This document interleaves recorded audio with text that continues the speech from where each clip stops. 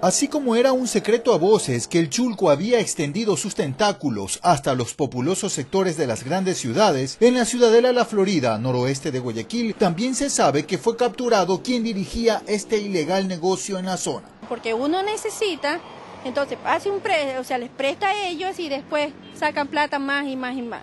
O sea, eso está mal. Y lo que está haciendo el gobierno está muy bien. Incluso hay quienes tienen la percepción de que los chulqueros reducen o practican de forma más discreta su actividad de financiamiento usurero de los comercios de la zona. Yo vivo en la Lomas de la Florida.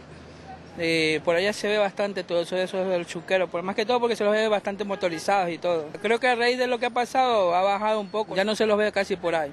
Quienes fueron detenidos esta semana rindieron ya sus versiones en las últimas horas dentro de las investigaciones que desarrolla el Ministerio del Interior en su campaña nacional de lucha contra la usura. 40 mil cartones de, nóminas para cobros que, tenemos ahí y obviamente esa información nos va a permitir determinar si solamente operaban eh, en, aquí en también en otra, ciudad. Solo en el último operativo fueron detenidas 38 personas, 35 tienen prisión preventiva y 3 medidas cautelares. A medida de que avanza el combate al chulco, se reducen los casos de violencia que se registraban por el cobro de deudas con excesivo interés. En Guayaquil, Gustavo Espinosa, Ecuador TV, su televisión pública.